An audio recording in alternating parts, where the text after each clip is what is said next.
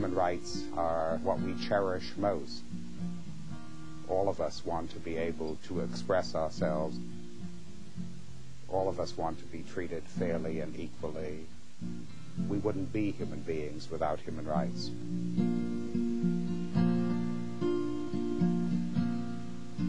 There are serious issues that we have to confront in dealing with vulnerable populations in the United States. In some respects, the abuses of human rights do not deserve comparison with the abuses that take place in many other parts of the world. But we do have violations which are very serious to the uh, to the people who are victimized uh, by them.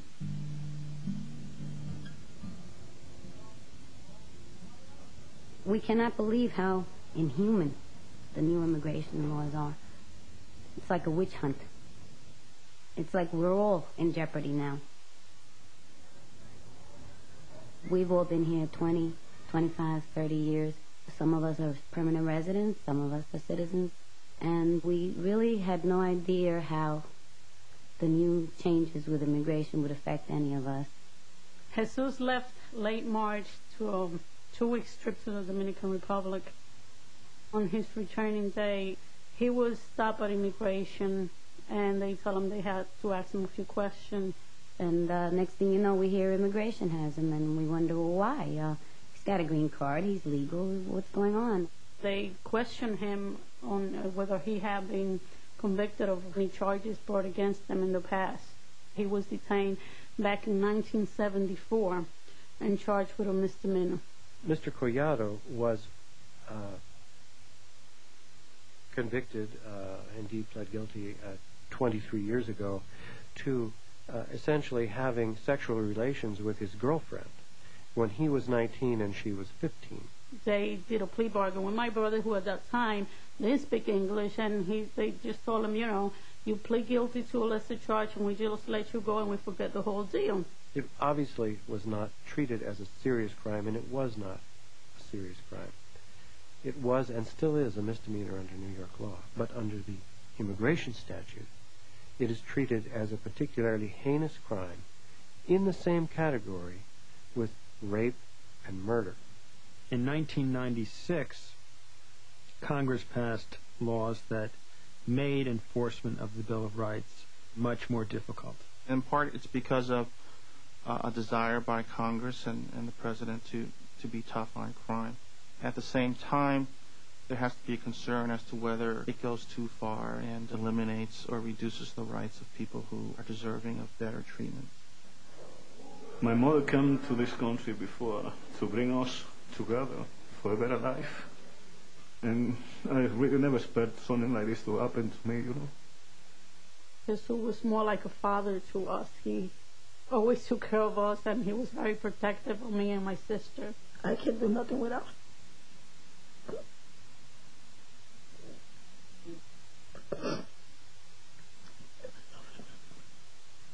And this is why I feel strong now to continue living because my family are out there. And uh, uh, you can see the only thing I have here is like car from them, my my wife, and and uh, to keep close to them. Otherwise, I would be dead here. I work seven days a week because I'm working for him and my kids. You know, when I came out of my work, I come running home to pick up the phone to wait his phone call. How you feel? He said, Nancy, please keep in mind that this is a maximum security prison. I'm in here with criminals. The trip is three hour and a half, and when I get there, I only can speak with him half an hour. Half an hour. We can't touch him. We can't even hug him to give him some moral support. When I go over there and we talk, he cries, and I cry, and we don't talk. We're always crying. Then he asked me about the kids and how I'm doing. And I asked him what he ate today. He told me that he gave him mashed potato, that he's tired of mashed potato.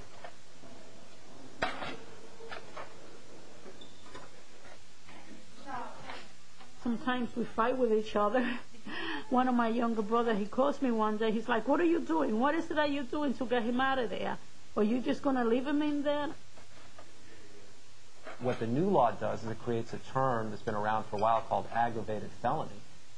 but it now calls the most minor kind of offense, theft of cable TV services under this new uh, law constitutes an aggravated felony. So it's kind of an Alice in Wonderland term where if you call every minor offense an aggravated felony, well, then you're only deporting aggravated felons. This particular aspect of the statute is completely retroactive. So a crime which, in his case, 23 years ago, was simply not a deportable offense, so that not only did he do nothing to prevent his deportation, but he couldn't have done anything because he wasn't deportable.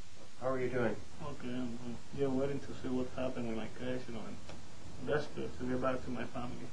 I've been here already for more than three and a half months, and nothing happened. Under the Constitution, every person is entitled to due process of law. And the Supreme Court has said again and again that the guarantee of due process applies not just to citizens, but to persons, to everyone. The essence of due process is the government can't act in arbitrary ways. The government can't uh, act uh, capriciously. Um, the government can't treat people differently without some rational basis. He's stuck, uh, along with many, many other people in his shoes, with no bond, being detained, and basically having his life ruined. Children prison, 3.30 this is a great time when I'm going to see my family. And today is a very special day for me. Uh, today is my birthday. When I go out there and see them, I feel good, but at the same time when they leave, it's terrible. I have my two daughters who I, I almost lost one of them.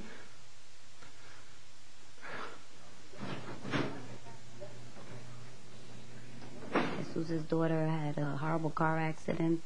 She almost didn't make it. My daughter is back. I think she's gonna be okay. This makes me makes me happy now.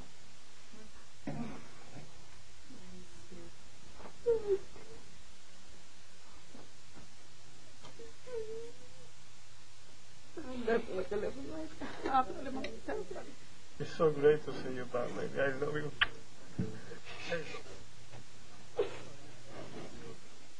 Immigration judge does not have the discretion to take into account that he's a great guy, 23 years of proven rehabilitation, a family that will suffer extreme hardship if he's deported. No one could disagree with that in his case, except that the judge simply cannot take that into account. He has no discretion.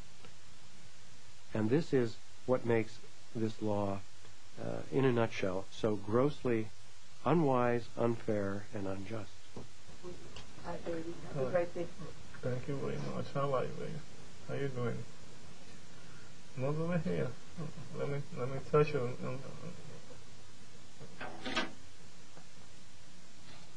Love you. How's everything?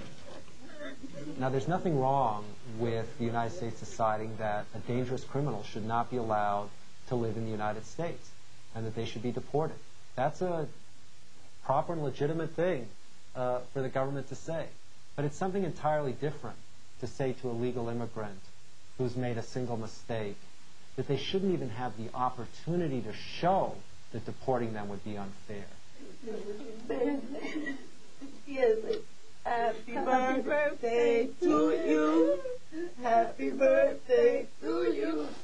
Happy birthday, dear Papa. Happy birthday to you. Thank you, baby. I'm gonna keep fighting till the end because no matter how much I'm gonna suffer now, I gotta keep suffering in order to become together with my family again. We never thought that the same land that would offer us hope and liberty and freedom was going to turn against us and try to just literally kick us out. What are they gonna do with my children who are American, who born here in the United States? My wife, born here in the United States.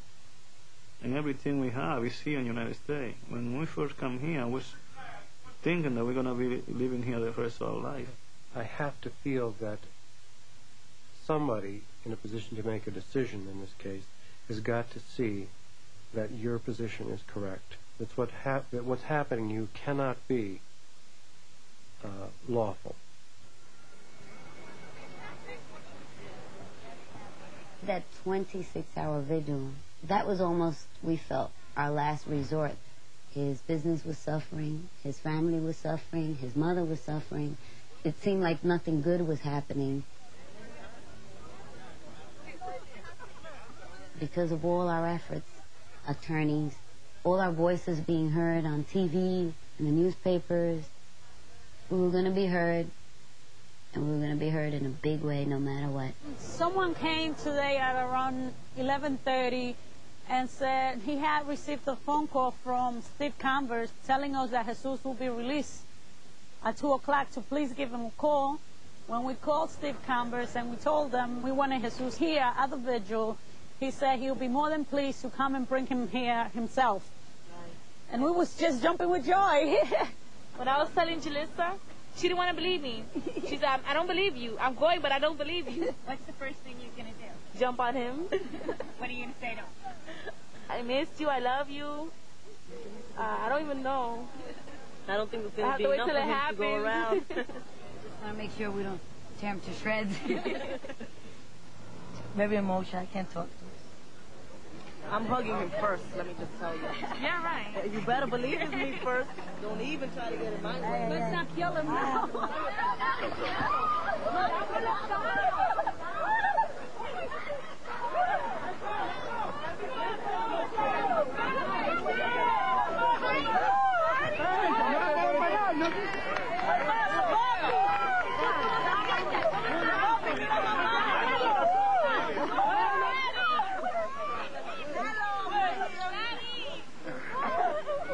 That day was one of the most exciting and scary days. Although he was home, the case wasn't over. We knew that we still had to fight his deportation. I felt like he had been in a war. When people come back changed, they come back hurt, they come back confused. INS has destroyed me, not only my business, but also myself.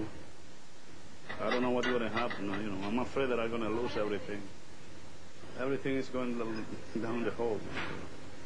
But I just, you know, trying to do the best I can to survive. This is the only way that I support my family. I'm fighting with myself to take this out of my way and keep going.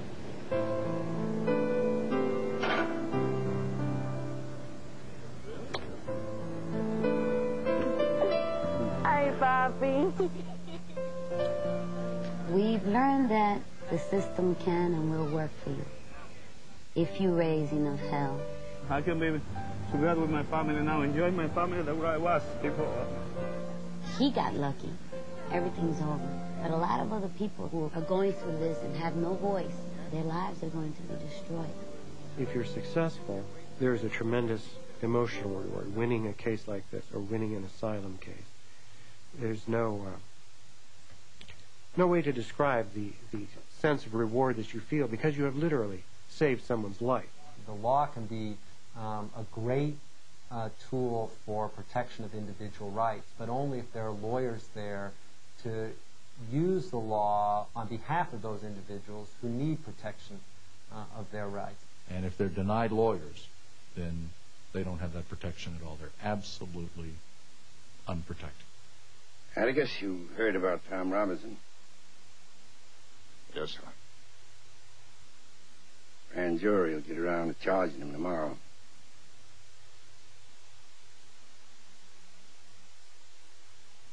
I uh, was thinking about appointing you to take his case. I think the great challenge to anyone who's a lawyer is to use their legal skills to make the Constitution and the civil rights laws of our country real and meaningful to the people who need it. I'll take the case.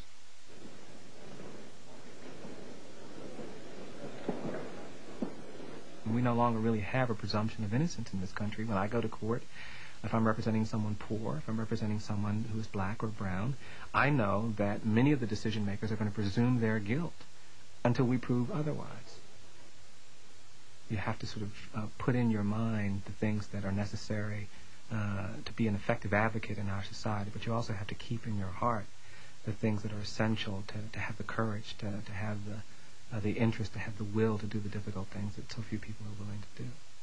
Scout, there are some things that you're not old enough to understand just yet. There's been some high talk around town to the effect that I shouldn't do much about defending this man. It's only the way in which we treat the poor, the condemned, the marginalized, that we have any glimpse at the quality of our justice, at the impact of the law. This country, our courts are the great levelers. In our courts, all men are created equal. I'm no idealist to believe firmly in the integrity of our courts and of our jury system. That's no ideal to me. That is a living, working reality. It's a real privilege to play some little tiny role in trying to protect the human rights of people who, um, uh, whose dignity and whose uh, uh, humanity deserve all the protection that society can create there was an article in the New Yorker by a federal judge who was explaining that although he believed in the death penalty, that he took it seriously and that he found it personally troubling. And in the course of that article, the judge said that some people complained that the quality of representation in criminal cases wasn't very good, thus increasing the likelihood that innocent people were sentenced. The judge said, well, we tolerate incompetent lawyers in lots of situations and he had a sentence which just stuck in my mind. He said, um, he said, but the liberals say death is different. And on that Sunday morning, it occurred to me that though it's been a long time since anybody called me a liberal, I think death is different. What is your opinion on the death penalty? Uh, I believe the death penalty is uh, not a deterrent, but uh, retribution. Eye for an eye, tooth for a tooth. I actually believe in the death penalty. I think that it, it has its place in society. Maybe some people deserve it, some don't, but I don't know. I think it's pretty cruel. I think the death penalty is necessary. As a matter of fact, I think that's not used enough today. If they stab somebody to death, I think they should be stabbed to death. If they drown someone, I think they ought to be drowned. I don't think it's right to kill anyone for any reason whatsoever. I'm kind of up in the air about it because I hate to see someone lose a life, yet I understand that you took a life. So my feelings are kind of mixed about it. It's kind of, I, I can't even understand it myself. I think if the average person knew what happens in the average death penalty case, I'm not talking about the celebrated cases that get on TV, but the poor person accused of a crime who has a court-appointed lawyer paid a token amount of money, often a person of color tried by an all-white jury, uh, often a person with mental limitations or mental illness, and the jury never hears a word about that person's mental illness or mental limitation. I think if most people knew that that's the reality of the death penalty in the United States today, uh, they'd be truly horrified by what's going on in our courts. George McFarland was convicted of murder. He was convicted of the murder of a man named Kenneth Kwan, who owned a convenience store in Houston, who was murdered during a robbery. He was uh, tried and convicted in a trial that in total lasted about three days during which his lawyer, a 72-year-old Houston lawyer named John Benn, um, by the accounts of everyone who was present, uh, literally slept through most of the trial. When you when you give an attorney some money, or when the state appoints you an attorney, you expect for them to do everything generally possible to help you because of the inadequacy of our client's prior lawyers, um, there had been no factual investigation done on the case. So we had to start that from the beginning. The only evidence in the trial that connects George McFarland to the shooting of Kenneth Kwan is the eyewitness identification of Carolyn Barty and the testimony of his nephew, Craig Burks. We're here right now at the same location. It looks about the same. The cars are different than it was probably in 1992 when this offense occurred. One of the major witnesses was parked approximately right where this little yellow car is parked, and that was Carolyn Barty, who was working for the City of Houston Police Department. Carolyn Barty, the eyewitness, said at the scene of the crime to the investigating police officers that she thought the person who was shooting uh, was about five seven, of Uh, medium weight and light to medium skinned African American. In the courtroom, she picked out George McFarland, who's six foot or more, weighs about 200 pounds, and has very dark skin. The jury was never told of her earlier identification, the simplest form of cross-examination. Young Craig Burks, the nephew, testified both that George shot Mr. Kwan and that George didn't shoot Mr. Kwan, that somebody else did. That was never pointed out to the jury. There's no physical evidence. There's no forensic evidence. There's no fingerprints. There are no ballistics that tie McFarland to the case. Uh, only those two pieces of evidence convicted. This is what we think of as the nightmare case. This is one where we really are saying, for all we know, you have an innocent person here who's sentenced to death. I've done a lot of things that truly I was punished for. This young man, Kenneth Kwan, I didn't kill him. What affected my decision to take on the case was not my view about whether George was guilty or innocent. What affected my decision to take on the case was that the process by which that question is supposed to be determined so clearly failed here. We was all sitting around. It was like dinner time. I was in there cooking. Harrison knocks at the door. Knock at the back door. And that's when they tell it was the police at the door. And they all just rushed in. They took George outside immediately and was talking to him. Then they came back in the house asked me could they search the house. I asked them they have a search warrant. They said no. But if I told them no, they were going to tear the house anyway. So I told them go ahead and search because I didn't have anything to hide. So they really tore it up anyway. This was not George McFarland's first scrape with the law. And generally speaking, people, particularly people in Texas, believe that they're better off to get a private lawyer than a state lawyer from the Legal Aid Society. And so McFarland, uh, on whatever basis, um, decided to go ahead and retain Benn. John told me, he went, he said he looked at the files. He said, man, you're not going away. He said, they don't have anything on you, nothing to prove that you've done anything. I can get you out. He said, trust me, believe me. The judge in the case, knowing of Benn's reputation around the courthouse, was worried that Benn, left alone, would not be able to provide an adequate defense. So the judge took it upon himself to appoint a young lawyer to assist, to help out, to do what we call second chair, to sit in the second chair at counsel table. A fellow named Sandy Melamed. Sandy, uh, in his uh, affidavit, said that he put between uh, seven and eight hours getting ready for a capital murder case.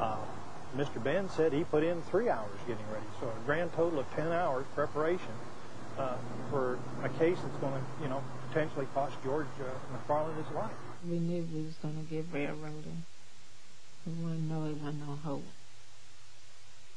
Patricia was there just about every day. So then I turn around and I look back at her, little George, and Gregory, right? And when I looked, this was the first time I ever saw was asleep. Well, the McFarland trial, it seems like it was just sort of a, really sort of an afterthought that day. But when I did walk in, I saw this guy, John Benn, up there just literally just conked out, you know, snoring and everything else. And it was just amazing. I don't, I'd never seen one quite that blatant. A bailiff reports that he was sitting behind Benn and regularly nudged him uh, to wake him up Uh, until it seemed to be doing no good and he gave up. It got to the point where sometimes he'd go to sleep when one witness was on the stand. When he'd wake up, somebody else would be sitting up there. I never knew that he would fail me like he did. I put a lot of faith, a lot of trust in him. When they got a break, I went up to John Benn and I said, you know, were you actually asleep during the course of this trial? And he, and he said, well, it's real boring. You ever go to sleep during a case? No, I close my eyes, rest. In this McFarland case, I did. Yeah, he said he, he heard you snoring. Yeah, well. Now, a different question is, why didn't the judge say, this is a farce, this is not a trial we're having here, we should start over? And I went up to the judge afterward and I said, you know, I mean, this shouldn't be going on. I mean, everybody in the world deserves, you know, a better representation than that. And he said the uh, Constitution uh, guarantees everyone the right to an attorney, but he said there is nothing in the in the Constitution about the law, the lawyer having to be awake. You know, the fact that he was asleep is in some sense the the sound bite of this case. It's the sound bite that has people paying attention to this case.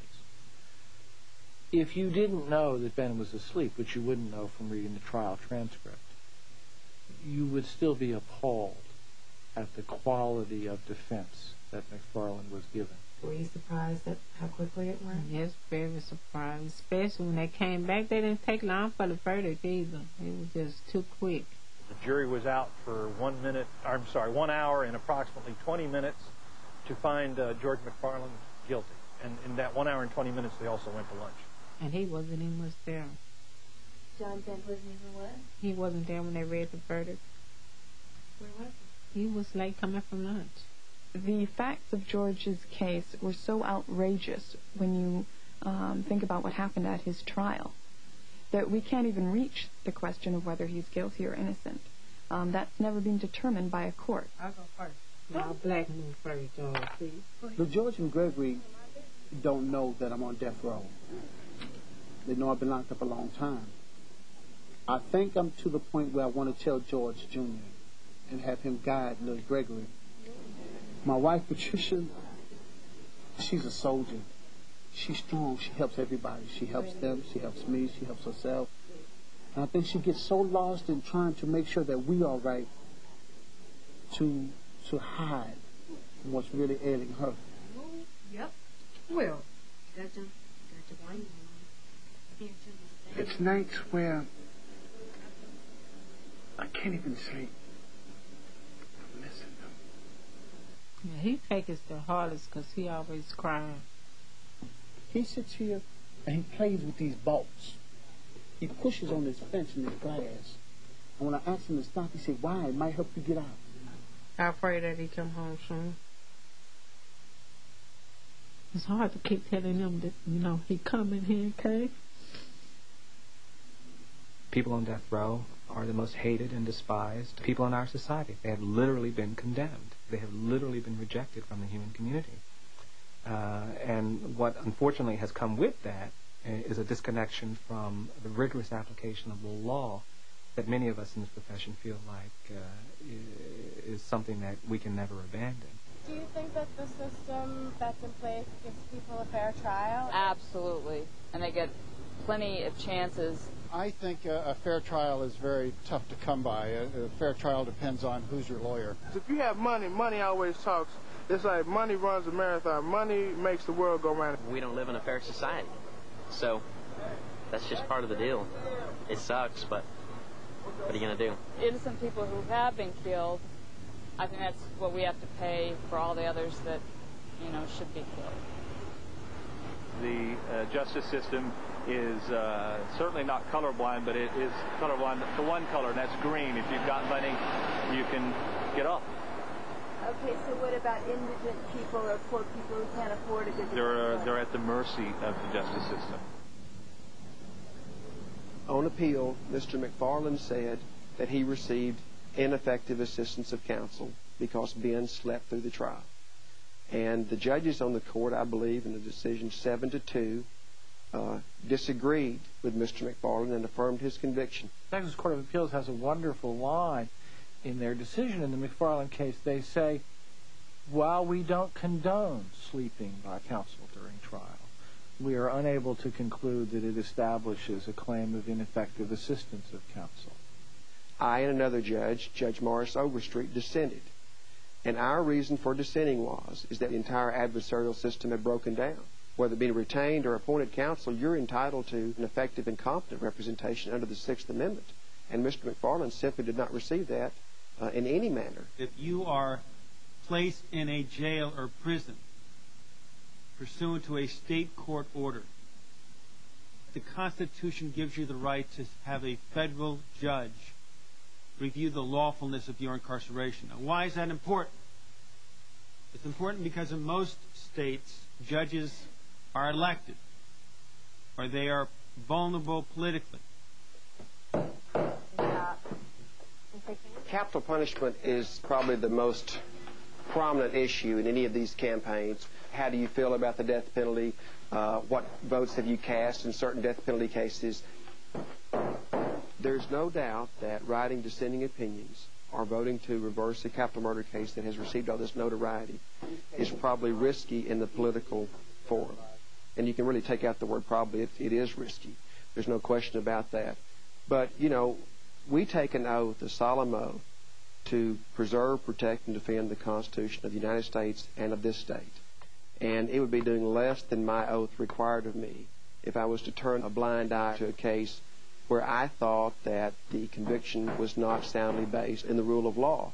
There's just so much pressure on the courts to get these cases through and uh, carry out some executions so the politicians can say we're being tough on crime. Uh, that uh, the courts are, very indifferent to a lot of the really gross injustices that take place in these cases. I think it's very disturbing. I think fairness has, has become a casualty of the war on crime. Where we are right now is at the Huntsville unit. It's known locally as the Walls unit. This area in which we're standing is the area in which the witnesses to the execution come in on the night of the, the day of the execution. Once the inmate enters the death house, he will come to approximately this area where he is met by two correctional officers and with a chaplain. Once he is strip searched, he is taken and put in this cell. When the time comes, the warden will come back to the inmate and say, it's time. He goes from the holding cell, which is approximately seven or eight feet, to go into the execution chamber. Have you ever seen someone be executed? Yeah, one. A guy named Henry Martinez Porter, his execution was pending, and he didn't want his family to come to it, so he invited uh, three reporters. Once the inmate enters the execution chamber, he is strapped down very quickly. It takes a matter of seconds. The arms are stretched out in this manner. Now, the IVs are inserted uh, in the crook of the arm. At that point, the warden will ask the inmate if he has any final words. Those words are amplified through the microphone, which go into the uh, into the viewing areas. This guy had been very nice the whole time. Of course, he's dried out and been sitting in jail for a year, and you know he obviously can't do anything to me. But anyway, he'd been very pleasant and very polite and all that. And they put that guy on the table, and he just went crazy. It was just total personality transformation. This this is your honky justice, you know. He just started screaming.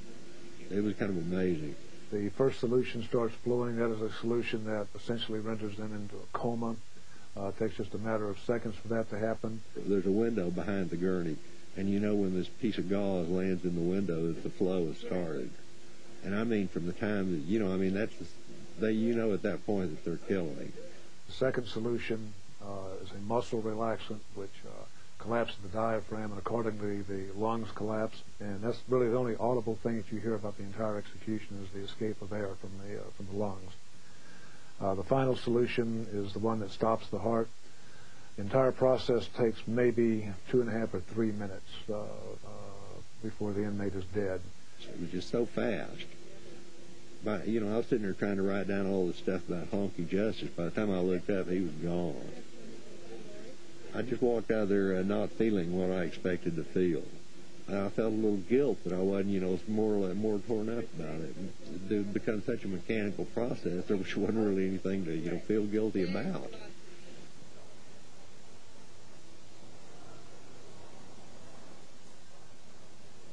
Right now, I live on H H block, which is a block house for people that choose to work in their factory.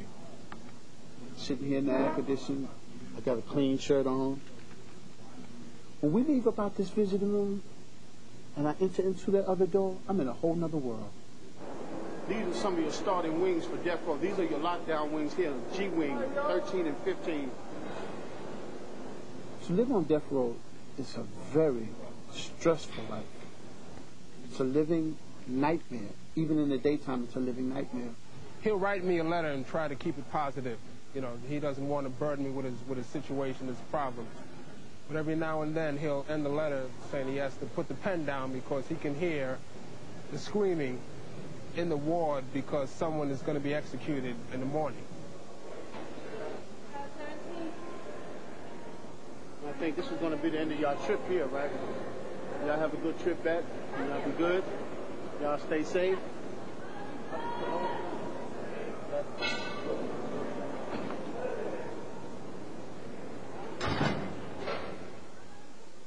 We have some 3,500 people on death row. What most people don't appreciate is that once their trial is over and their initial appeal is over, there is no constitutionally guaranteed right to counsel. So death row prisoners have to find lawyers willing to represent them, usually for free. Lawyers that do this work uh, do save lives. Of course, the other side of it is they also, uh, if you represent enough people facing the death penalty, you'll also have some times where people that you've worked with over a long period of time and come to know and care about uh, and see all of the good things in their life as well as the bad things when you may have to stand by and watch that person be executed. Uh, but that's when it's most critical that we be there for people. Uh, when people stand alone at the bar of justice and when people really need legal representation. Our system works best when there are good advocates. As a judge, I am much more confident that I have reached the right decision when there are good lawyers on both sides and and they make it hard for me to decide. And so the adversarial process is critical to our whole system. Each of us is more than the worst thing we've ever done. And because you're more than that, you've got this basic human right, you've got this basic human dignity that has to be protected by the rule of law as opposed to the whim of man.